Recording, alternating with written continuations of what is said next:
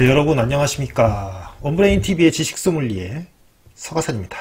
여러분 오늘은 예술 특파 보기 시간을 할 텐데요. 오늘은 추상화입니다. 어, 굉장히 생소한 이름의 작가인데 이 그림을 보는 순간 좀 어, 야, 이게 뭐야? 하면서 탁 좀 뭐랄까 와닿길래 어, 한번 준비를 해봤는데요. 추상화이니만큼 뭐 이것이 무엇을 표현한 것이다. 이러한 것보다는 어, 그 안에 저 그 근데 무엇을 무엇을 표현한 것이냐 무엇을 그린 것이냐라고 말하는 것 자체가 추상화에서는 그쵸? 좀 뭐라 그러지? 어불성설이죠. 추상화라는 것 자체가 그 그림 자체의 어떤 형태라든지 그 그림 자체에 있는 형태, 뭐 색채 이런 것을 감상하는 건데 이것이 무엇을 재현한 것이냐, 이것이 무슨 대상을 그린 것이냐라고 이렇게 이거를 그렇게 따지는 것은 조금 음, 무리겠죠. 그래서 그냥 뭐 판단하지 말고 어떻게 그려져 있는지 그 좀 세부적으로 이렇게 이거 확대가 가능하거든요. 굉장히 크게까지 해서 확대를 해서 뭐 어떠한 기법으로 어떻게 붓칠을 어떻게 하고 뭐 터치를 어떻게 하고 뭐 여기에는 뭐가 있고 뭐가 있고 이 정도만 서, 소개해 드리려고 하는 합니다. 예, 1967년도 그림인데 어, 무제예요 무제 예, 말 그대로 그리고 예, 에르네스트 이바니에스 니치라고 되어 있는데 이분이 자료를 찾아봐도요 우리나라 뭐 그런 건 전혀 없고 어, 잘 알려져 있지 않는 것처럼 보이는데 그래도 여러 가지 어, 굉장히 뭐라 그러지 자료는 그 우리나라엔 별로 우리나라 그 뭐 사이트에는 별로 없지만 뭐 다른 데는 많이 있습니다. 보시면 스페인 화가라고 소개돼 있고 그 페이스북도 있으니까 어, 한번 찾아가 보시기 바라고요. 어, 스페인 레리다라는 출신이라고 돼 있으시고 2011년에 돌아가셨네요. 예. 그래서 이분이 스페인 화가이시다. 스페인 하면 또 열정의 나라 아니겠습니까?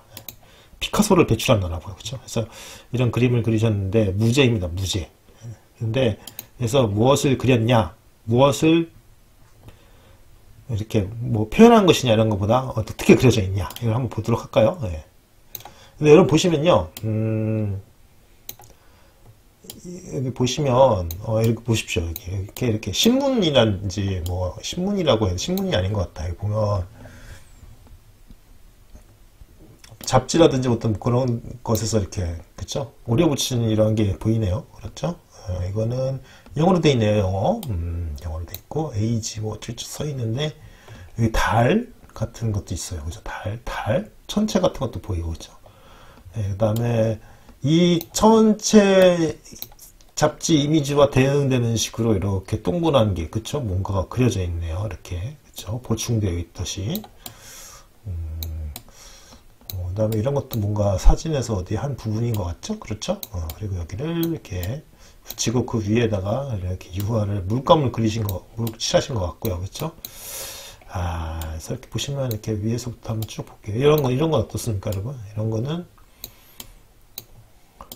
뭔가 여러분, 그쵸? 이렇게, 어, 공구 같은 거를 대고서 뭔가, 어, 그 옆에만 칠하고, 그쵸? 어, 이렇게 그런 것 같습니다. 뭔가 이렇게 그죠? 찍어 놓고 그다음에 그 위에 덧칠하고 한 것 같죠. 요런 거, 요런 요런 요런 거요, 여러분. 요런 거, 요런 거, 요런 거, 그죠? 요런 거, 요런 거 이렇게 이렇게 이렇게 이렇게 돼 있죠, 그죠? 이런 거. 공 무슨 뭐 볼트나 너트 같은 거 그런 거 그렇죠? 그런 공구처럼 보이네요. 네. 그리고 또 이런 것들 보면 여기도 그쵸 이렇게 동그란 무슨 금속이라든지 뭐 이런 거 도너츠 모양으로 되어 있는 거를 넣은 것 같고 이거는 아까 전에 그 달 이미지인 것 같아요. 달. 잡지의 달. 달. 아닌가요, 이거? 아니면 갈릴레오 갈릴레이가 예전에 노트에다 그렸던 그런, 뭐, 저기, 달의, 달의 위성, 위상 사진, 위상 그 스케치인 것 같은데. 아닐까요? 감스바. 내용이 그런 게 아닌가, 지금? 뭐 갈릴레오 갈릴레이에 대한 것 같은데. 꽤그 스케치 같긴 한데, 이런 거 보면. 내용 보면 내용까지 알 수 있으면 좋을 텐데요, 그렇죠? 이게 무슨 내용일까? 어, 이런 것도 무슨 무슨 그 행성 사진인 것 같지 않습니까? 행성, 네. 행성 소행성이나 뭐 이런 뭐 아니면 박테리아 모르겠네 전혀. 어, 다음 에 이런 게 있고 여기 무슨 이라고 써 있네요. 이, 이 이것도 뭔가 되게 맞힌 것 같고. 다음에 이런 것도 여러분 이렇게 네모나 반듯하게 돼 있는 거 여기다가는 뭐 위에다가 이걸 넣고선 이렇게 그쵸? 스프레이 같은 걸 뿌리든지 뭐 그런 식으로 한 것도 같기도 하고요. 예. 이것도 무슨 잡지 이미지 같은 게 보이는 것 같습니다. 이거는 아까 전에 그 달의 위상을 여기다가 칠한 것 같아요. 그쵸? 뭔가를 다시 이런 이미지가 계속 반복돼서 나오는데요 여러분 요거 그쵸 동그란 달, 달 같은 거 달인지 아닌지 지금 모호해지고 있습니다. 사실은 어, 신기합니다. 그렇죠? 어, 이렇게 되고 여기는 지금 자신의 이름을 이름이 딱 이렇게 써여 있고요. 여기 보면 여러분 무슨 여기 보면 무슨 사람 얼굴 같은 것도 있네요. 그렇죠? 여기에 이쪽에 그렇죠? 무슨 석상 같은 것처럼 보이고 동그란 것의 이미지가 계속 반복적으로 나오네요. 음. 여기도 동그란 그쵸 이미지 옥수수 같기도 하고 뭐처럼 생긴 곡식 같기도 하고 뭐 그렇게 보이는데 동그란 이미지들이 이렇게 반복돼서 나와 있네요 이거는 뭡니까 Man's New World 음, 잡지를 붙였고 여기는 육각 볼트인 것 같죠 여러분? 그죠? 육각 볼트 같은 거를 이렇게 한것 같고요. 그 다음에 여기는 이것도 잡지 이미지인데 그쵸? 이것도 이렇게 보면 동그란 동그랗게 돼 있고 이렇게 여기를 칠해 놓은 게 아까 전에 달 위상의 스케치 이런 거 비슷하게 보입니다. 여기도 이런 게 그쵸? 이런 게 있고. 음, 여러분 여기에서 무슨 자동 자전거 바퀴나 무슨 기어 같은 거 그런 거 이렇게 대고 그린 것 같기도 하고요. 이거는 여러분 요 세 개 하나 둘 세 개 요거는 아까 전에 위에도 있었고요. 그쵸? 지금 요거가 여기서도 나타나네요. 이렇게 삼각형으로 되어 있는 이 형태가 그쵸? 이렇게 아 뭔가 뭔가 반복되고 그쵸? 이렇게 보면 이렇게 달 위성 사진인 것 같고 그래서 이렇게 보면 와 이것도 뭔가 여기 보면 이 잡지에 여기 동그란 이미지들이 포함되어 있습니다. 그래서 동그란 이미지가 굉장히 통일감을 부여하네요. 음, 나름대로 그리고 손 이미지가 있네. 손을 잡고 있는 거 이것도 뭔가 음, 잡지 같은 데라든지 아니면 뭔가 이렇게 대고 이렇게 스프레이를 칠한 것처럼 이렇게 돼 있네요. 그렇죠? 어. 그래도 중간중간에 이렇게 굉장히 거친 붓, 아주 저기 두꺼운 붓으로, 붓으로 이렇게 그런 게 같은데 이런 것도 자가, 자는 아니지만 어떤 격자 같은 것들이 이렇게 그거네요. 반듯하게 그려져 있는 것들이 있고 이것도 또, 또 동그란 이미지 그렇죠? 그 안에 뭐가 있나? 이런 거 뭔가 이렇게 대구서 위에다가 이렇게 써놓고 이렇게 한 거 스프레이를 칠한 것 같기 스프레이 뿌린 것 같기도 하고 그렇죠 어.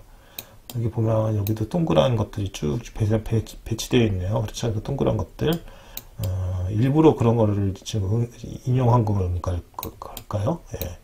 이렇게 돼 있고 그다음에 이런 것도 있고 Supersonic Waves 약간 뭐라 그럴까 어, 과학 적인 것이라든지 기술 문명 이런 것에 대한 그런 것들이 많이 들어가 있는 것 같습니다. 그러니까 그렇죠.